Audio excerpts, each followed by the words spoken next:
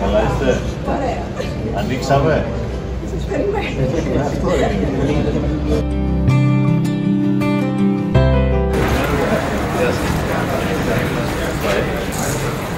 Τώρα είμαστε νεκρά. Πώς θα βολεύει. Εδώ σαν τα βγω στα δυο λιθάρια που λένε στο βορείο. Έτοιμοι να λιώσουμε είμαστε. Που έχει αλλήμον αν συνεχιστεί και το Σεπτέμβριο.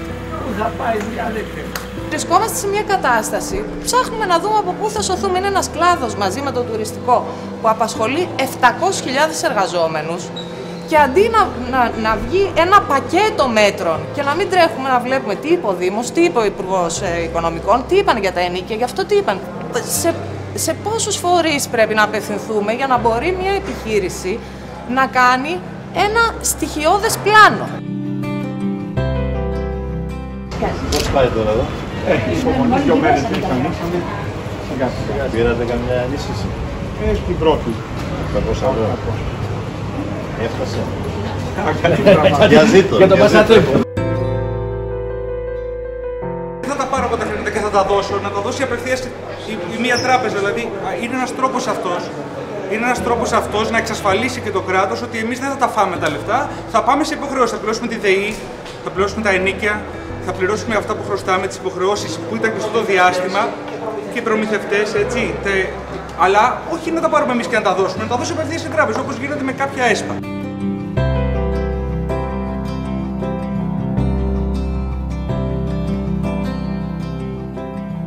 Και εγώ λέω, τι έχω πάρει, 800 ευρώ δύο μήνες. Να κάνω τι; Έχω ένα μαγαζί αυτή τη στιγμή χρωστάω περίπου 9 χιλιάρικα. Θέλω άλλα 3-4 να ανοίξω. Τι να τα κάνω τα 800 ευρώ; Τα χειμερινά μαγαζιά έχουν τελειώσει. Ε, εμείς Τα για- μικρά, μα- τα μικρά χειμερινά έχουν τελειώσει. Το κατάστημα απασχολεί 9 ανθρώπους.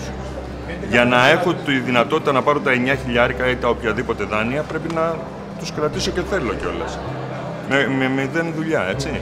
Αν αυτός ο, ο, ο κλάδος της εστίασης και του τουρισμού δεν πέσει απλά, αλλά κάνει τεράστια βουτιά, αφενός μεν θα έχει τεράστια επίπτωση στο συνολικό ΑΕΠ και δεν θα είναι και εύκολη και γρήγορη η ανάκαμψη μετά, διότι θα συμπαραστήρει και μια σειρά από άλλες, έχει μια λυσίδα ε, κλάδων που έχουν συσχέτιση με τον τουρισμό και την εστίαση. Καλά είστε.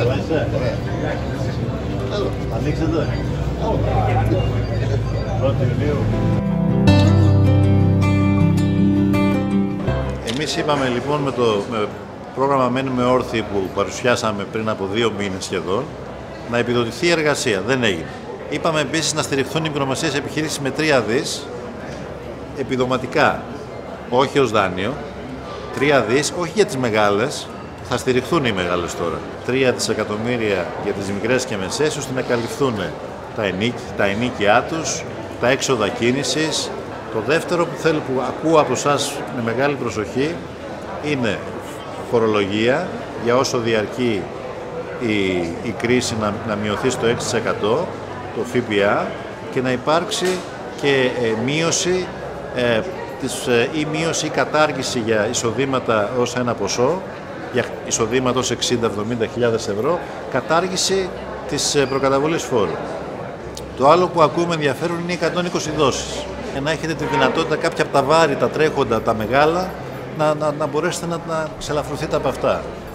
Τελευταίο, όχι αμεληταίο, γιατί εμάς μας ενδιαφέρει και να μην ζήσουμε αυτό που, που καταφέραμε σε, σε, σε πέντε χρόνια να μειώσουμε την ανεργία 10 μονάδες, να το χάσουμε σε, σε πέντε μήνες.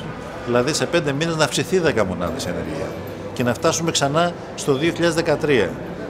Και επειδή πια δεν θα μιλάμε για μια χαμένη πενταετία, αλλά για μια χαμένη γενιά, αν, αν αναλογιστούμε από το 10 ξεκινήσαμε, μας ενδιαφέρει πολύ να, να βοηθήσουμε την μικρομεσαία επιχειρηματικότητα και να το ανταποδώσει με θέσεις εργασίας. Άρα πώς θα γίνει αυτό, πρέπει κατά την άποψή μου να στηριχθεί συμπληρωματικά και το μισθολογικό κόστος. Με τον όρο να κρατήσετε τους ίδιους, τον ίδιο αριθμό των υπαλλήλων.